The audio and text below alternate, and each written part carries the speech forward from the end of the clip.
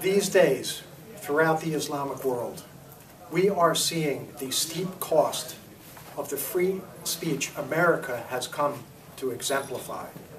We believe such costs must be sustained, no matter the price. In 1917, shortly after the United States entered World War I, socialist Charles Schenck urged young Americans to resist the ongoing military draft. Assert your rights, his leaflets asserted, in suggesting the draft made virtual slaves of those who submitted. Schenck was convicted of violating the Espionage Act of 1917 and appealed to the Supreme Court.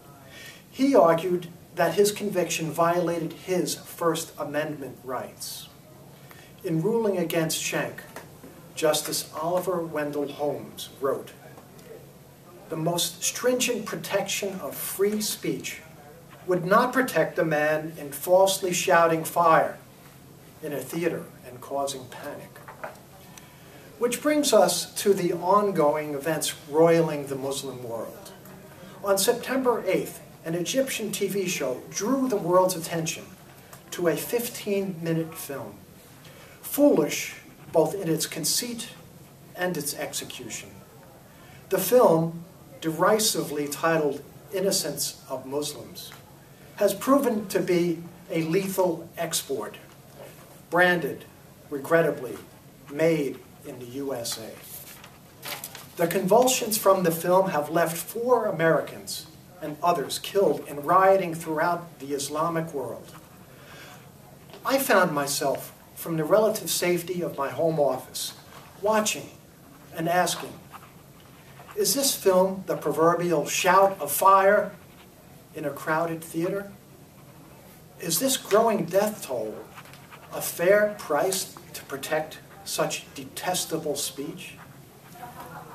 The answer I now understand is a resounding yes. We must protect the First Amendment, the basis for all of our liberties, at any cost. Our American enterprise was and is typically reviled by those who would subvert freedom of expression, including present-day Iran and famously Nazi Germany. We say, words don't kill.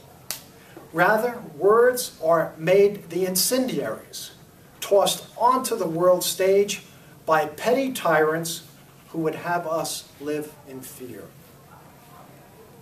Anyway, this is the view from 38th Street.